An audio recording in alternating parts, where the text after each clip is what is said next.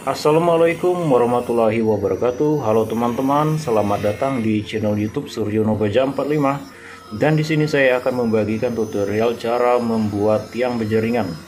Nanti rencananya kita akan menyambung kanopi yang sudah kita pasang ya teman-teman ya. Jadi rencananya ini kita pasang dengan atap transparan. Ini berjaringan 40 cm ya teman-teman ya ada empat batang lalu kita grendah ya. Seperti ini teman-teman. Dan ujungnya itu kita pasang berjaringan 13 cm dan sediakan juga untuk tiangnya. Ini semeter lebih ya semeter 20 untuk tiangnya ini Nah, variasi yang sudah kita buat tadi kita masukkan ya ke sini ya. Masukkan ke baja ringannya. Nah, ini teman-teman. Tinggal kita pasangkan ya. Ada dua tiang dan di tengah-tengahnya variasi. Lalu kita baut, teman-teman.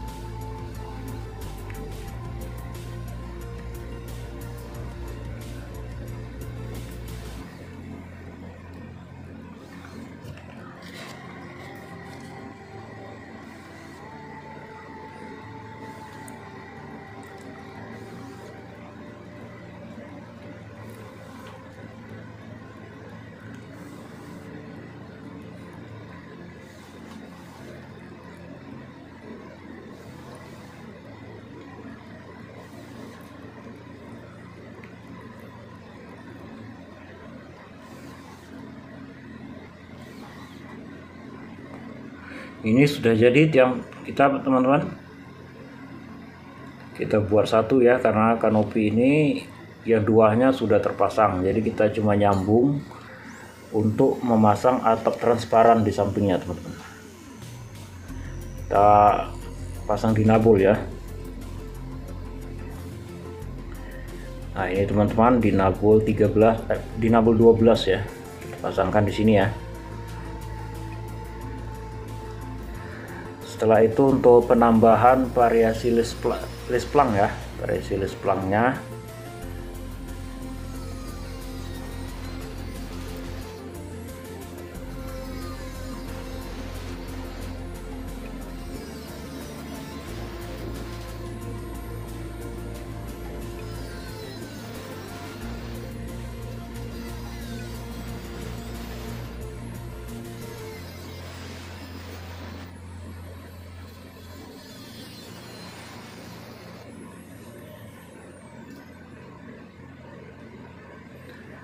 kita pasangkan ya.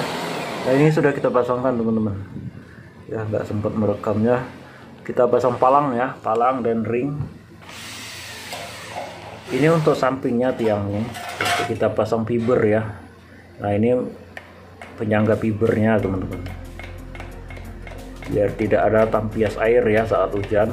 Jadi kita pasang fiber. Untuk tiangnya dipaku saja teman-teman